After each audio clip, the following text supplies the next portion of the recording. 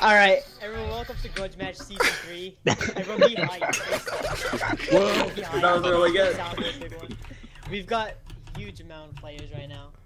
What is it, 40? Yeah, we've got 40 people, including And specs. two specs. Even more sweaty newcomers. It's going to be a great season. Uh, I'll just go over the player list. This is not planned whatsoever.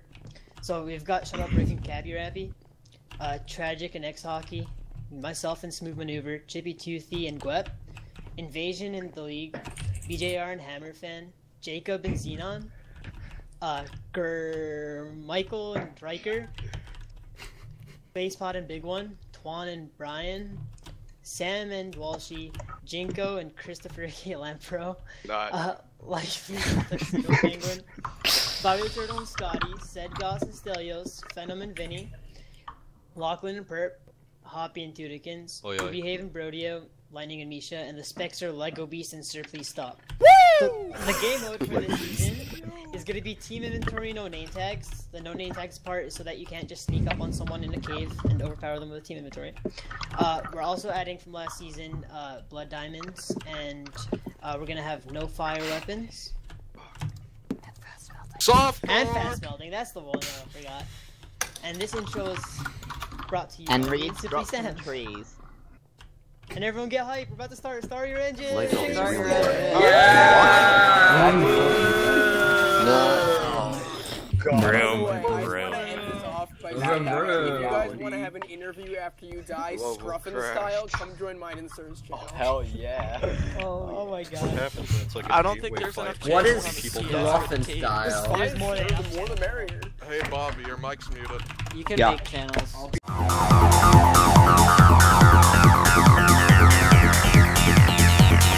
round.